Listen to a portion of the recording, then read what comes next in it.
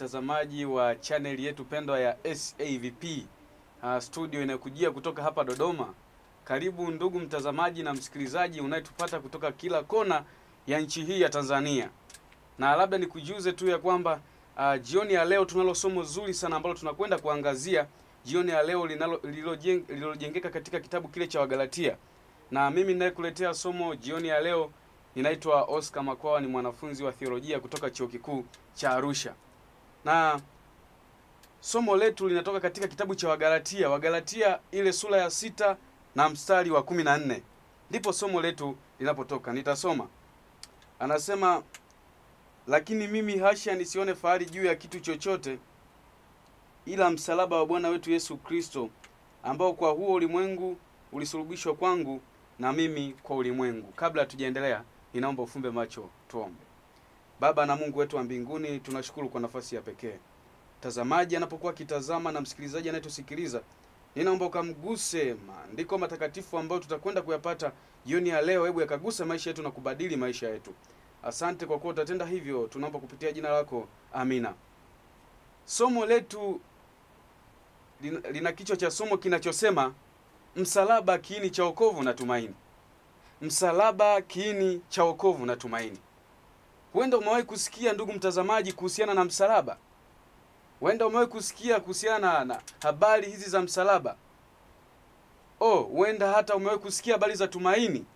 Lakini leo tutakwenda kuzungumzia kiini cha wokovu na tumaini ambacho ni msalaba. Ndiyo maana somo letu linasema msalaba kiini cha wokovu na tumaini. Kwa nini msalaba kiini cha wokovu na tumaini? Nakumbuka kwamba ndugu mtazamaji, tunakwenda kuzungumzia msalaba ule ambao Yesu Kristo aliangikwa kwao, yaani kupitia ule msalaba sisi tulipata kukombolewa. Ndio maana fungu hili katika kitabu cha Wagalatia, kitabu ambacho kimeandikwa na Paulo, waraka Paulo ambao ameuandika hii barua ambayo ameandika kwa watu wa Wagalatia. Nitaanza kusoma, anasema lakini mimi hasha nisione fahari juu ya kitu chochote ila msalaba wa Bwana wetu Yesu Kristo. Ya kwamba sasa Paulo anasema hakuona fahari juu ya kitu chochote isipokuwa msalaba wa Bwana wetu Yesu Kristo, yaani ule msalaba ambao kupitia huo msalaba wanadamu wote tulipata kuokolewa kutoka dhambini. Yaani kile Yesu alichokifanya pale msalabani ilikuwa tosha sisi kupata tumaini na kukombolewa. Tulitoka dhambini tukiwa wachafu, tukiwa waovu kupitia ule msalaba, yaani damu ya Yesu Kristo ilivyomwagika msalabani tukapata wokovu. Msalaba kiini cha wokovu na tumaini.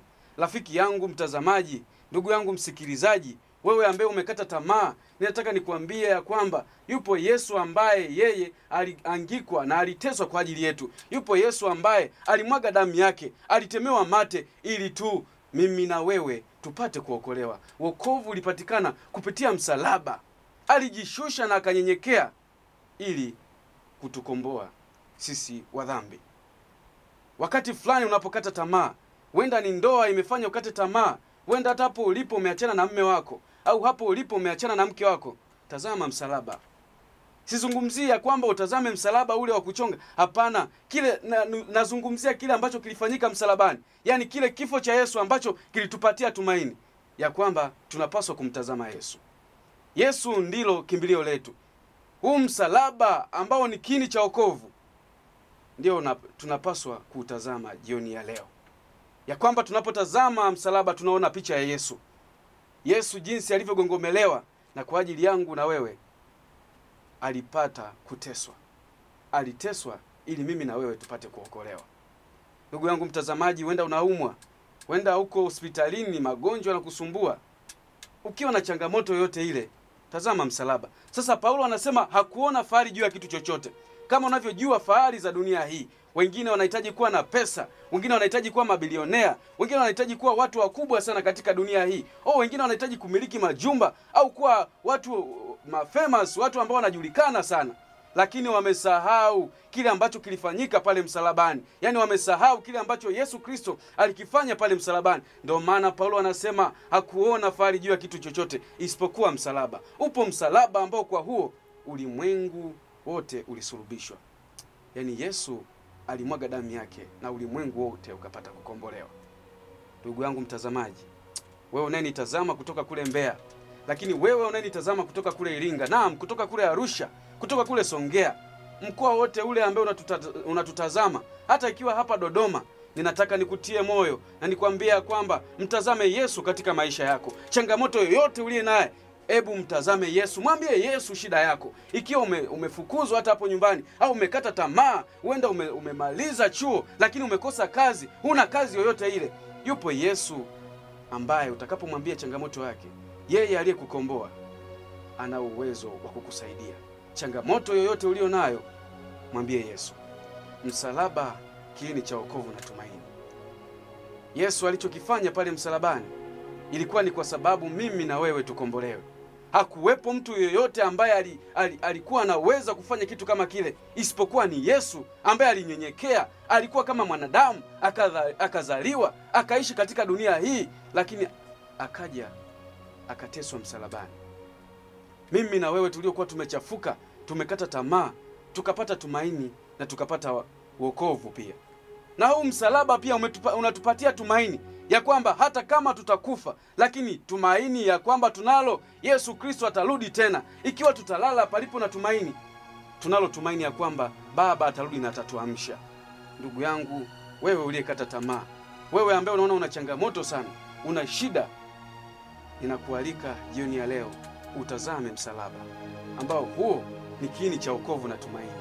Ndugu yangu mtazamaji, nataka nifanye wito kwa ajili yako wewe ambaye umekata tamaa, ikiwa na changamoto yoyote ile, unaona imeshindikana kabisa. Paulo anazungumza katika kitabu cha Wagalatia sura ya sita na mstari wa kumi na nne ya kwamba tutazame msalaba. Anasema hakuona fahari juu ya kitu chochote isipokuwa msalaba. Kwa nini, kwa nini mimi na wewe tusijitoe leo na tukamtazama Yesu na tukamtegemea Yesu katika maisha yetu?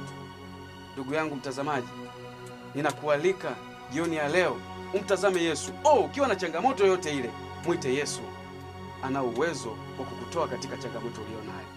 Ikiwa ni shida yote ile, hata ikiwa ni shida ya kifamilia, yupo Yesu ambaye yeye aliteswa kwa ajili yetu, anatupenda upeo.